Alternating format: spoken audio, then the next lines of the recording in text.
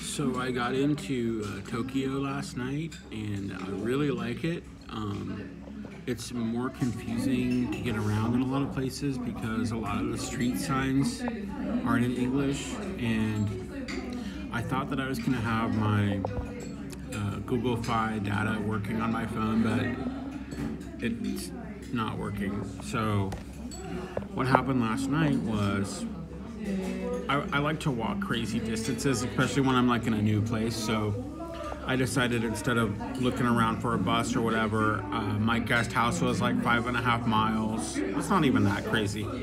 But um, so I got in at like 8:30. I probably got out of the airport like 9, 9:30 after customs and everything.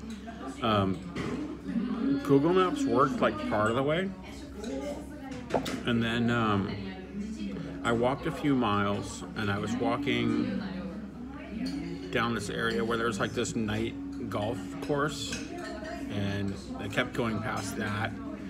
And then I got to this point where there was a split in the road, and I didn't know which way to go, and my Google Maps wasn't working. So I walked by to, to a hotel, and I decided to get a taxi cab. Um, I was told it would cost about 2,000 yen, which is about $13, and I just was like, wanted to get to my room. Um,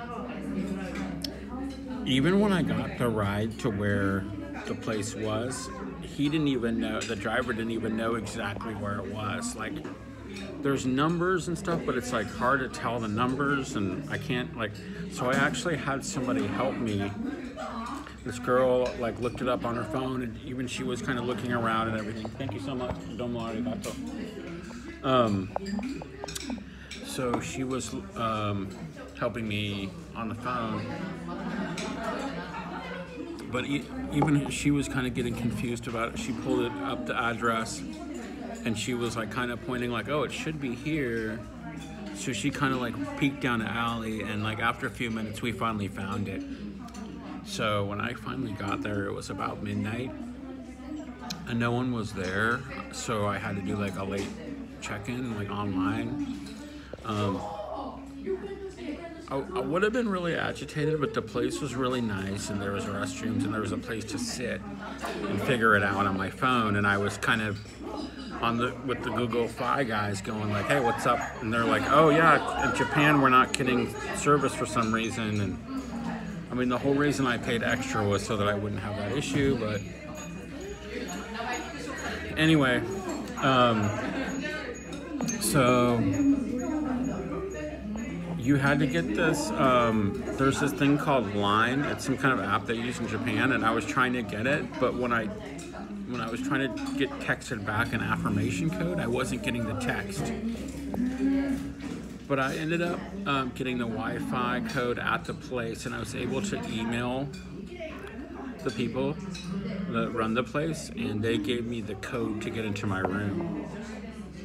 So I got into the room, and I was super impressed with the hostel. Um, about six years ago, when I was at a hostel in Las Vegas, I told myself I'm never doing a hostel again. I'm like too old for this stuff, right?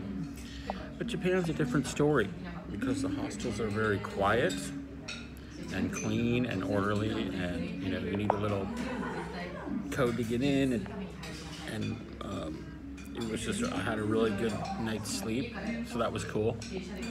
Um, and then I booked. I decided to book. Oh, thank you so much. That looks delicious. Look. Thank you so much.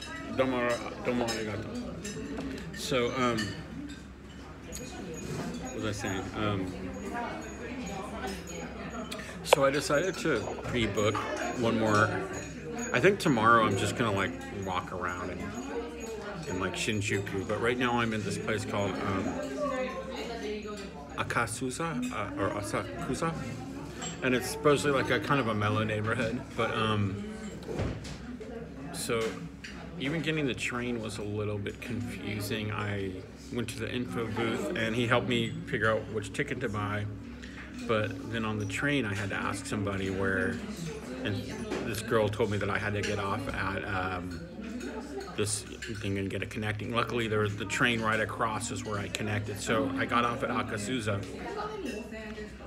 But then I'm trying to find the thing on my phone, and it's even if I have the directions written down, it's just difficult because of the way things are. But um, I'm really digging Japan, and um, um, I'm really digging the vibe here. So I will let you know more.